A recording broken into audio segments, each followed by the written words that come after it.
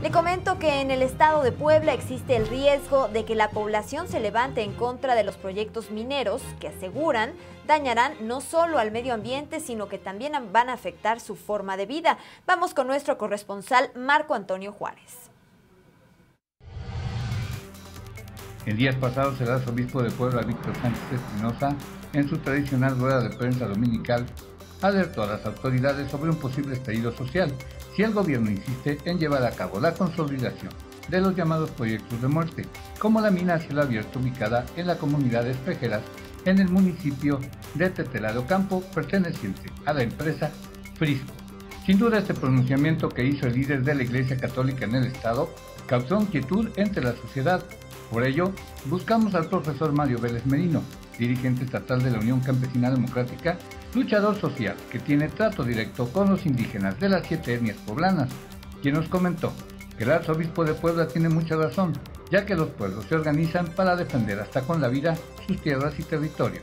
Celebro que la iglesia, comprometida con el Evangelio real, esté alertando de esto.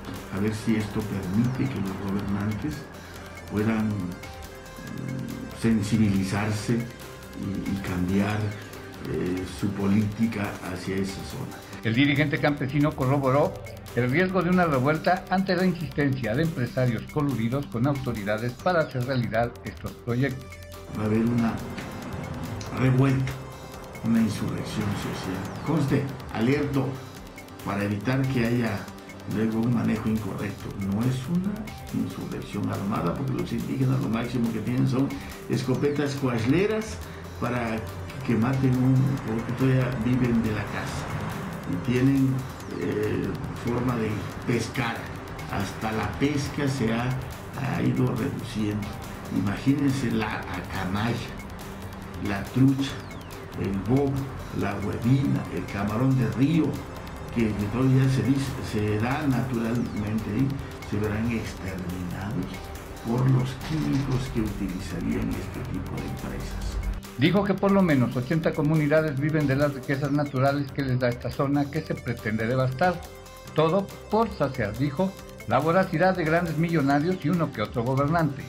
Vélez Merino reveló que el 90% de los casi 26.000 habitantes de Tercelado Campo están en contra de la instalación de las minas y se congratuló de ver cómo, hoy en día, hasta los caciques apoyan la causa del pueblo indígena y marchan juntos para gritarle al mundo que defenderán hasta con su vida el pedazo de planeta en el que les tocó vivir.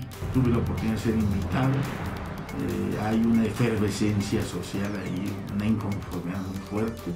Me da mucho gusto que inclusive hoy los eh, la gente de pantalón que vive ahí, o sea, los mestizos, estén junto con los indígenas defendiendo su territorio, porque eh, los proyectos no solamente van a afectar a los indígenas, también van a afectar a toda la población.